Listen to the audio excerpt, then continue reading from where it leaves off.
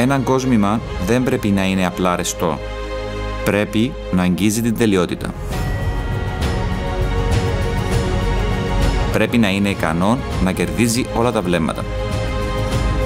Για την κατασκευή του απαιτείται πολύς χρόνος, κόπος, λεπτομέρεια, αγάπη. Γι' αυτό και εγώ στα κοσμήματα που κατασκευάζω δίνω έμφαση στο σχεδιασμό, στις καμπύλες, στα σχήματα, στα χρώματα, στα υλικά. Σε αυτό το επάγγελμα είναι καθήκον μας να δουλεύουμε πάντα με τα καλύτερα υλικά. Πολύτιμες πέτρες, διαμάντια, χρυσό. Σήμερα πολλοί από τους πελάτες μου έρχονται πλέον με τις δικές τους ιδέες, τα δικά τους σχέδια. Δεν θέλουν να διαλέξουν από μια βιτρίνα. Αυτό το γεγονός κάνει το κάθε χειροποίητο κόσμημα που φτιάχνω μοναδικό. Πρόκληση για μένα είναι να καταλαβαίνω τον κάθε πελάτη και τις ανάγκες του.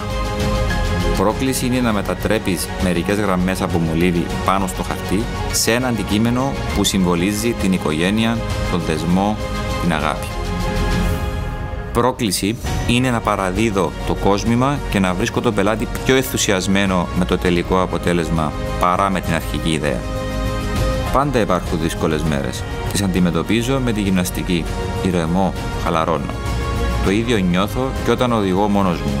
Νιώθω ήρεμος. Ελεύθερος. Την πρώτη φορά που την είδα στο δρόμο ξαφνιάστηκα. Δεν ήξερα καν τι ήταν. Το μόνο πράγμα που ήμουν σίγουρος εκείνη τη στιγμή ήταν ότι κάποτε θα την έκανα δική μου. Στην αναζήτηση της επιτυχίας είναι απαραίτητο να βάζεις ρεαλιστικούς στόχους. Εξίσου σημαντικό όμως είναι να κάνεις και όνειρα. Βλέπεις, η επιτυχία έρχεται μόνο μετά από πολλές αποτυχίες. Πρέπει απλά να το τολμήσεις. Η απόφαση να αποκτήσω τη δική μου Porsche έγινε χωρίς δεύτερη σκέψη. Δεν ζήτησα καν test drive.